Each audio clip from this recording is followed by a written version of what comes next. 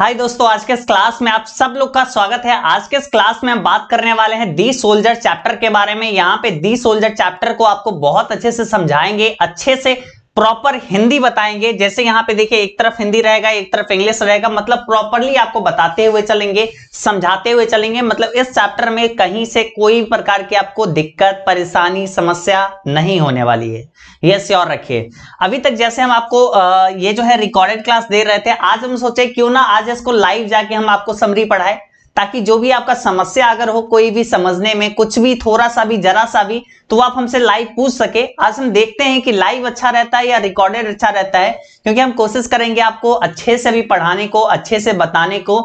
और आपको अगर कोई भी डाउट होती है, वो आप हमसे पूछेगा ज़रूर, ठीक है? चलिए हम यहाँ पे दी सोल्जर चैप्टर को स्टार्ट करते हैं। बाकी जितने लोग आ चुके हैं, सभी लोग बिल्कुल अच्छे से देखेगा इस चैप्टर से बहुत सारे सवाल आते हैं। स्पेशली दी सोल्जर चैप्टर बहुत ही एक इंपॉर्टेंट चैप्टर है, जिससे आप देखे होंगे बार बार इससे समरी आती है। जैसे कि चैप्टर्स बहुत सारे हैं, लेकिन हर चैप्टर्स का समरी बार बार नहीं पूछा जाता है। लेकिन दी सोल्जर चैप्टर एक ऐसा चैप्टर में से एक है जो बार बार पूछे जाते हैं तो इसलिए दी सोल्जर चैप्टर को ज़रूर से ज़रूर आप अच्छे से याद रखिएगा, अच्छे से समझ के रखिएगा, ठीक है? रूपर्ट ब्रुक जी के द्वारा यहाँ पे लिखा गया चैप्टर है, बहुत ही बेहतरीन चैप्टर भी है, ठीक है?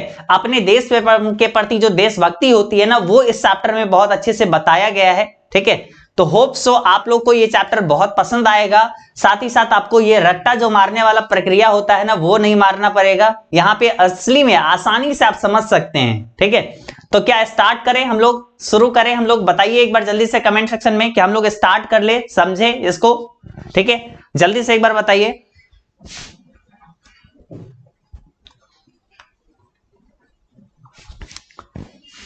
जल्दी जल्दी एक बार सब लोग बताइए। जी सर ओके सर। ठीक है। और जरा सा शेयर भी कर लीजिए, आज शायद नोटिफिकेशन नहीं गया है तो कम ही लोग आ पाए हैं तो आप लोग जल्दी से जल्दी एक बार शेयर कर लीजिए सभी लोगों के साथ, ताकि और सारे लोग आ जाए, और हम उसी तरीके से आपको पढ़ाए, जैसे कि पढ़ाए करते हैं। ठीक है? देखिए, सबसे पहले अपने पास चैप्टर का नाम क्या है? अपने पास चैप्टर का नाम है दी सोल्जर चैप्टर का नाम अगर कोई भी पूछेगा, अभी क्या पढ़ रहे हो बाबू? तो एकदम बता देना, हम लोग पढ़ रहे हैं दी सोल्जर ठीक है? एक सैनिक जो होता है, उस सैनिक की यहाँ पे कहानी है। एक सैनिक के बारे में सारा चीज़ लिखा गया है। उसी को आज हम लोग बहुत अच्छे से पढ़ेंगे। ठीक है? उसी को आज हम लोग बहुत अच्छे से पढ़ेंगे और आपको अच्छे से पढ़नी है। ठीक है? देखो, सबसे पहले अगर बात करें, इस चैप्टर को दिसोल्जर चैप्टर को लिखे कौन है? तो इसको लिखे है कौन है? Rupert Brooke ji. ठीक है? रूपर्ट ब्रुक जी यहाँ पे लिखे हैं। ठीक है? उसके बाद अगर बात करें, इनकी जन्म कब होती है? इनकी जन्म हुई थी तीन अगस्त अठारह सौ सतासी को, यानी थर्ड अगस्त 1887 को यूनाइटेड किंगडम में, यानी यूके में। बोल सकते हो इंग्लैंड में इनका जन्म हुआ है, ठीक है? साथ ही साथ इनका जो है निधन कब हुआ है डायड कब किए हैं? ट्वेंटी थर्ड अप्रैल 1915 ठीक है? तेईस अप्रैल 1915 को इनका निधन हुआ है, कहाँ पे? ग्रेस में, ठीक है? कहाँ पे निधन हुआ है? ग्रेस में इनका निधन हुआ है। तो ये भी आपको क्लियर हो गया होगा। इस चैप्टर को लिखे कौन है? इस चैप्टर के राइटर जो है रूपर्ट ब्रुक जी, इनके बारे में आपको डेट पता चल गया। ठीक है? इनके बारे में आपको डेट पता चल गया है क्या इनका जन्म तिथि है, क्या इनका निधन का तिथि है। ये बहुत ज़्यादा इंपॉर्टेंट होती है तो ये आप सीख गए। ठीक है? अब चलिए, अब हम लोग सारांश समरी देखना स्टार्ट करते हैं और इसके बारे में। एक तो ये है, अभी हम आपको यहाँ पे जो लिखा हुआ है, हम आपको बहुत अच्छे से समझाएँगे। और दूसरा ये कि हम आपको लास्ट में अपने तरफ़ से ठीक है? अपने तरफ़ से हम आपको प्रॉपरली समरी सारांश को करवाएँगे ताकि आपको समझने में कोई दिक्कत ना हो। अपने तरफ़ से भी हम आपको अच्छे से एक बार फिर से पूरे चैप्टर को बताएँगे। तो चलिए अब आ, और सारे लोग आ चुके हैं। चलिए ठीक है। चलिए अब बढ़ते हैं आगे। इस पेज से आपको क्या जानने को मिला? दी सोल्जर चैप्टर को रूपर्ट ब्रुक जी लिखे हैं। इनकी तस्वीर यहाँ पे है। इनका जन्म तीन अगस्त अठारह सौ सतासी को होता है और निधन तेईस अप्रैल 1915 को होता है, ठीक है? अब चलिए यहाँ पे समरी को स्टार्ट करते हैं। आपके एग्ज़ाम में जैसे सवाल रहेगा, आपके एग्ज़ाम में कैसे सवाल रहेगा? आपके एग्ज़ाम में सवाल रहेगा right down this summary of the soldier ठीक है? Right down this summary of the soldier chapter ऐसे कुछ रहेगा, ठीक है? तो आपको उसका आंसर देना है, जवाब देना है, कैसे आप उसका आंसर लिखेंगे? आइए देखते हैं। आंसर ऐसे लिखना है the soldier is a very beautiful sonnet compose by Rupert Brooke मतलब दी सोल्जर एक क्या है? बहुत ही सुंदर एक सोनेट है जो कि कंपोज किया गया है लिखा गया है किसके द्वारा? रूपर्ट ब्रुक जी के द्वारा। दी सोल्जर एक बहुत ही सुंदर सोनेट है। अब सोनेट यहाँ पे क्या होती है? सोनेट होती है चौदह पंक्ति वाली कविता ठीक है? 14 लाइन का जो है क्या होता है? पोएम होता है ठीक है? और ये 14 लाइन जो होता है इसमें क्या होता है? इसमें दो पार्ट में ये बांटा रहता है। एक होता है आठ लाइन का और एक होता है आ, आपका कितना लाइन का? एक होता है छह लाइन का। ठीक है? तो इसको कहते हैं ऑक्टेव ठीक है? ऑक्टेव और इसको कहते हैं सेस्टेट ठीक है? तो सोनेट के बारे में ये थोड़ा सा जानकारी दिए हैं। जो सोनेट होती है, वो चौदह पंक्ति की कविता होती है और उसमें आठ और छह पार्ट में डिवाइड होती है, ठीक है? आठ लाइन और छह लाइन आठ लाइन की जो होती है, उसको कहते हैं ऑक्टेव और छह लाइन का जो होती है, उसको कहते हैं सेस्टेट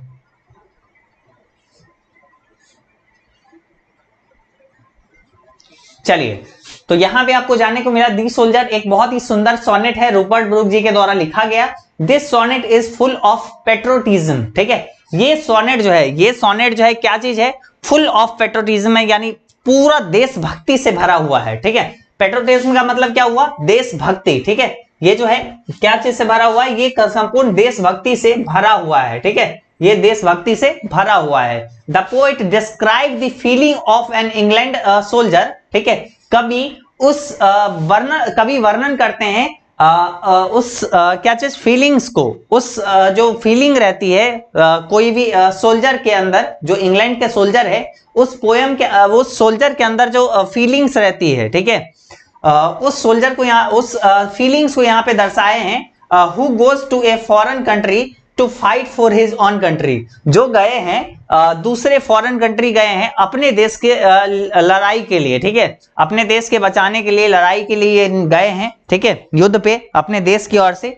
तो उस इंग्लिश सोल्जर के जो है इंग्लिश सोल्जर के फीलिंग्स को यहाँ पे बताते हैं। जैसे कि आपको बताया रूपर्ट ब्रूक जी जो है, ये क्या है? ये इनका जन्म यूके में हुआ है, यानी इंग्लैंड में हुआ है। इंग्लैंड में हुआ है, यानी ये क्या है? इंग्लिश हैं इंग्लिश लोग अंग्रेज़ लोग हैं ये ठीक है? तो ये इंग्लिश इंग्लिश मैन है यानी ये इंग्लिश सोल्जर के बारे में यहाँ पे लिखते हैं फीलिंग्स को बताते हैं ठीक है?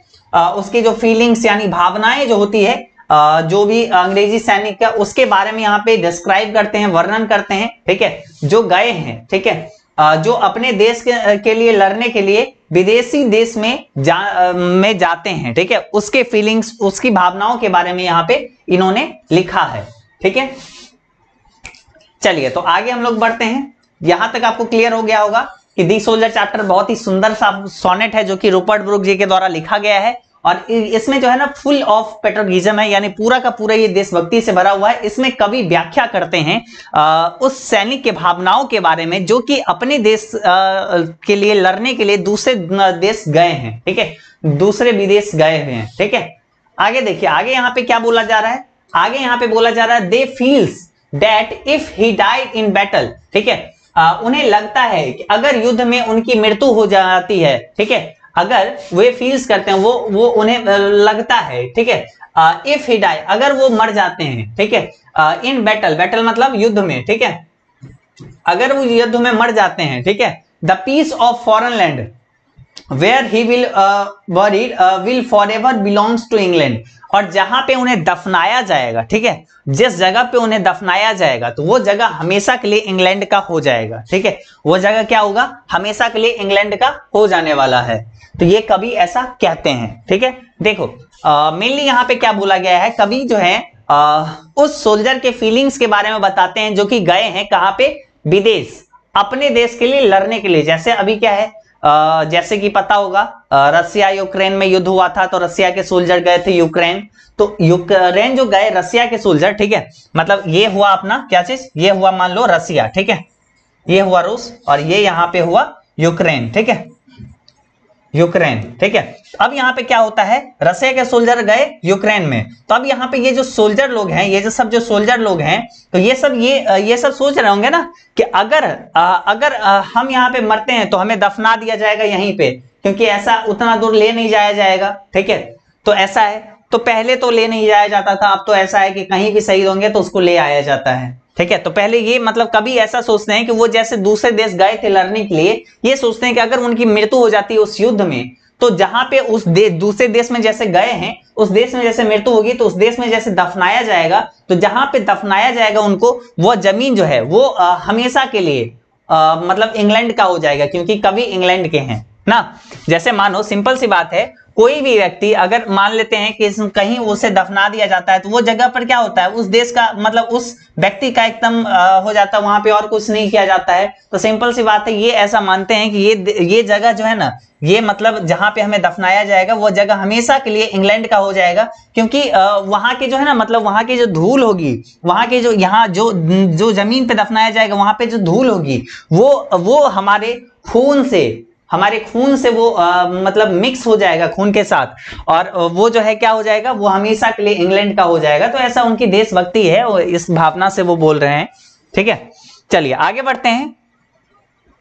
आगे बढ़ते हैं। आगे देखिए यहाँ पे क्या है। He uh, he considered the peace of the foreign land to be England because he was born and uh, brought up ठीक है? Uh, वो कंसीडर करते हैं वो विदेशी भूमि के टुकड़े को ठीक है? वो फॉरेन लैंड के उस पीस को कंसीडर करते हैं मानते हैं कि वो हमेशा के लिए इंग्लैंड का हो जाएगा टू बी इंग्लैंड वो हमेशा के लिए इंग्लैंड का हो जाएगा बिकॉज़ क्योंकि he was born and brought up in England क्योंकि वो जन्म लिए हैं और बड़े हुए हैं कहाँ पे? इंग्लैंड में। तो यह इन्हें जहाँ दफनाया जाएगा वो ज़मीन जो है ना हमेशा के लिए। कहा हो जाएगा क्या हो जाएगा? वो ज़मीन हमेशा के लिए हो जाएगा। किसका? वो ज़मीन हमेशा के लिए हो जाएगा इंग्लैंड का। ठीक है?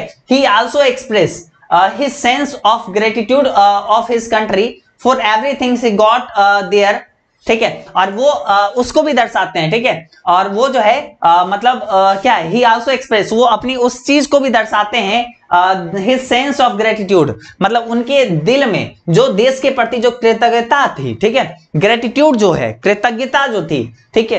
तो उसको भी दर्शाते हैं देश उस पर जो उपकार किया था उस चीज़ को भी यहाँ पे वो मानते हैं ठीक है? तो उस चीज़ को भी यहाँ पे दर्शाते हैं जो भी उनको वहाँ पे उनके देश में मिला था दी फ्लावर जैसे उनको फूल मिला था द एयर ही ब्रीथ जो उनको फूल मिला था, वो द, वो इन मतलब उसके लिए वो कृतज्ञ थे, ठीक है? जो इनको वहाँ पे हवाएँ मिली थी, जो साँसें लेने के लिए इंग्लैंड में, उसको याद करते हैं। The laughter that the laughter that he had learn from friend वो हंसना, जो अपने दोस्तों से वो सीखे थे।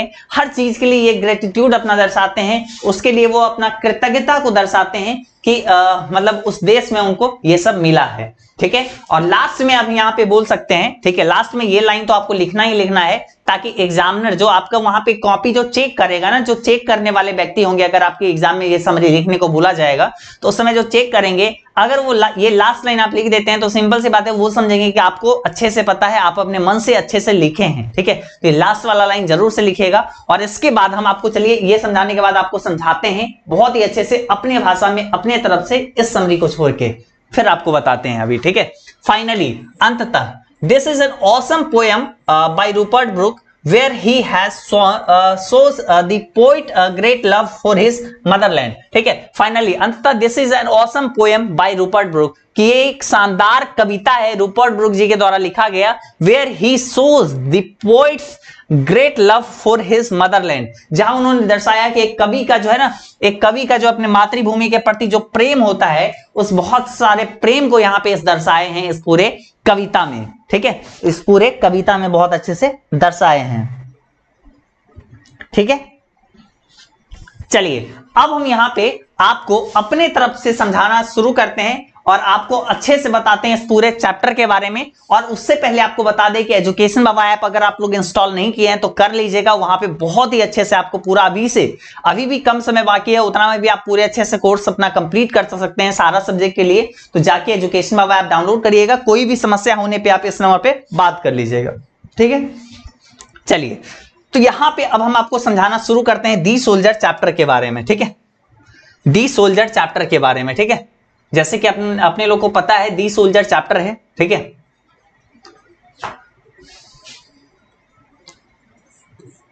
क्या है? दी सोल्जर चैप्टर, ठीक है? दी सोल्जर यानी एक सैनिक, ठीक है? एक सैनिक चैप्टर है अपने पास। अब चलिए इसके बारे में जानते हैं।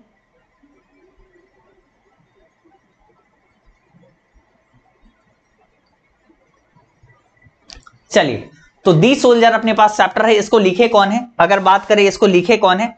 इसको लिखे कौन है? ठीक है, इसको लिखे कौन है?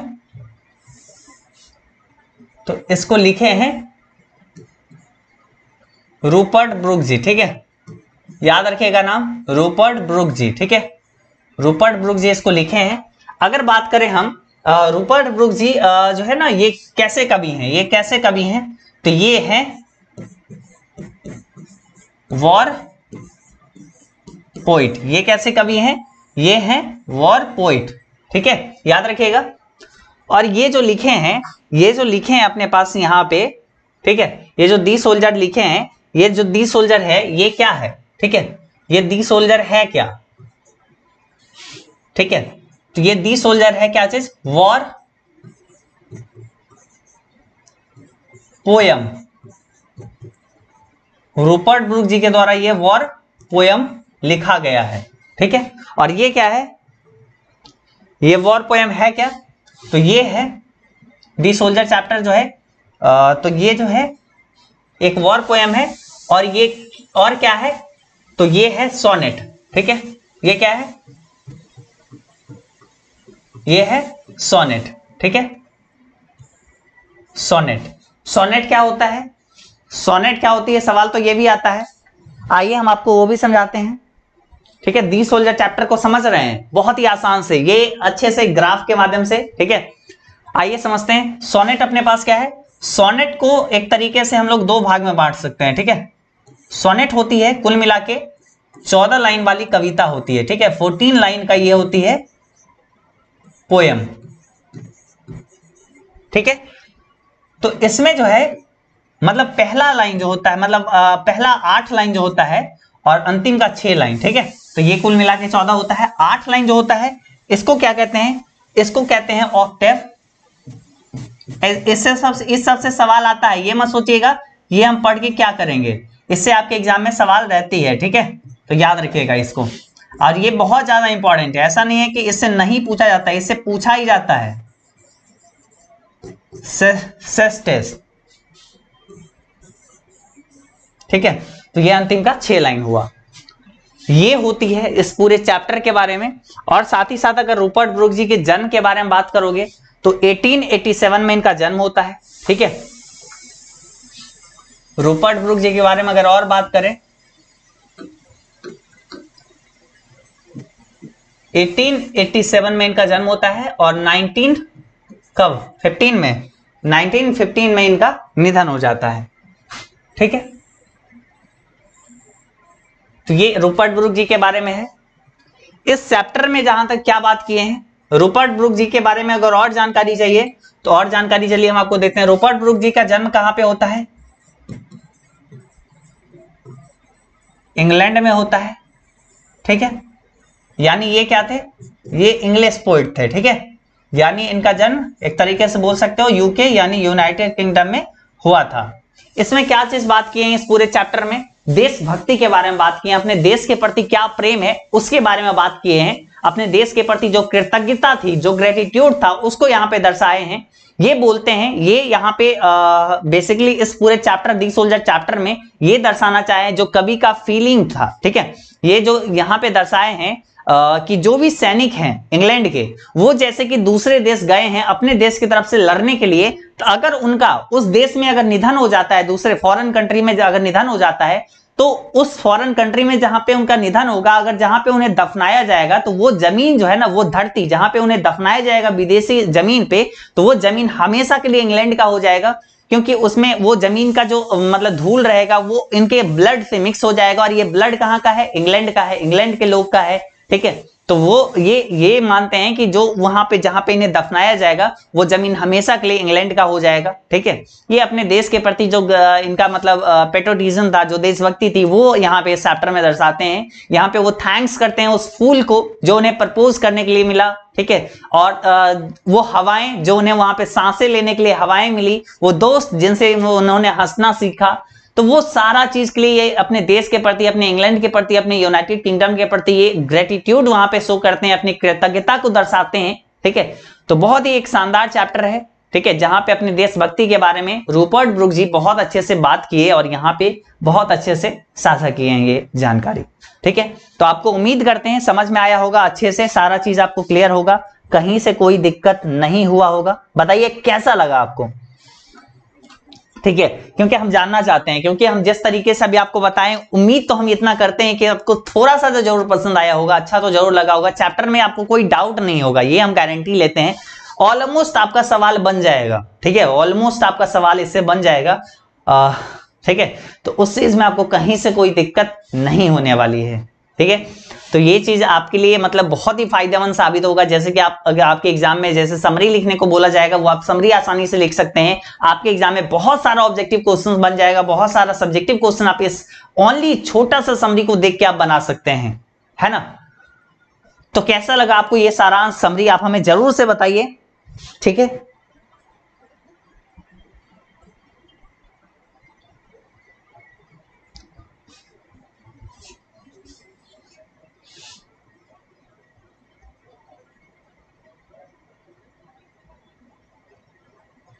कैसा लगा बताइए?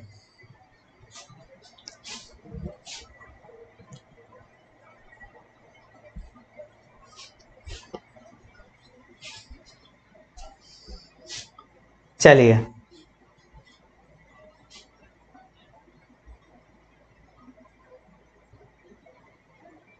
ओके, उम्मीद, यहाँ तो ऐसे लग रहा है कि आप लोग को समझ में आया है, ठीक है?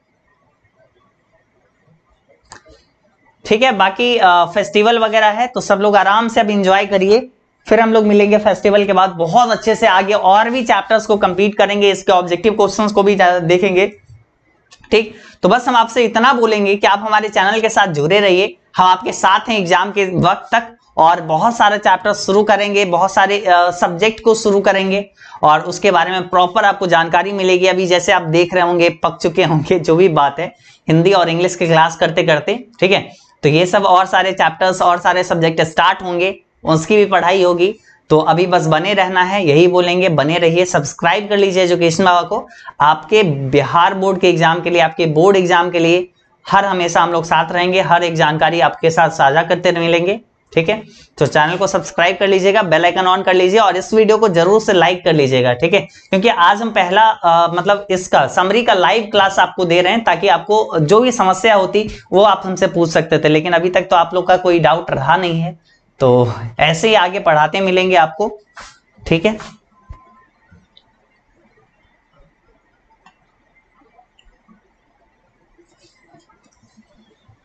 चलिए तो आज के इस क्लास में बस हम लोग इतना ही रखते हैं। आप लोग से लास्ट में जाते जाते आपको इतना बोलेंगे कि आप लोग जो भी स्टूडेंट अभी तक अगर एजुकेशन को ट्राई नहीं किए एक बार भी नहीं देखे तो एक बार जाके ऐप इंस्टॉल करके देखिए। थोड़ा सा समझने की कोशिश करिए। मेनली ये आपके घबराने वाली बात नहीं ऐप पर जाते हैं, कुछ लोग को ये दिक्कत होती है, नहीं समझ में आया। देखो, क्या नहीं समझ में आता, वो आप यहाँ पे पूछ सकते हैं ना। वहाँ पे आपको बताया जाएगा। और साथ ही साथ आप मेनली ये है कि आप अगर अच्छे से ऐप को यूज़ करना जानेंगे, अच्छे से देखेंगे तो आपके लिए बहुत ज़्यादा ये फ़ायदेमंद होगा, क्योंकि यहाँ पे मॉडल पेपर पिछले साल के क्वेश्चन पेपर वो सारा चीज़ अवेलेबल है जो कि आपको पढ़ना है चैप्टर वाइज ऑब्जेक्टिव सब्जेक्टिव ये सब तो फ्री में अवेलेबल है, और बाकी कुछ कोर्सेस भी आपको वहाँ पे ज्वाइन करने के लिए हैं, अगर आप वो करना चाहते हैं तो कर सकते हैं, ठीक है? तो वो भी है, जिसमें आपको अच्छे से पढ़ाई हो जाएगा, सारे सब्जेक्ट के अलग अलग टीचर होंगे, ठीक है? तो आप जाइए एजुकेशन बाबा ऐप को एक बार ट्राई करिए और डाउनलोड करिए और अच्छे से देखिए, सब कुछ यूज़ करिए और अच्छे से अपना पढ़ाई जारी रखिए। फिर हम लोग मिलेंगे अगले क्लास में। तब तक लिए बाय बाय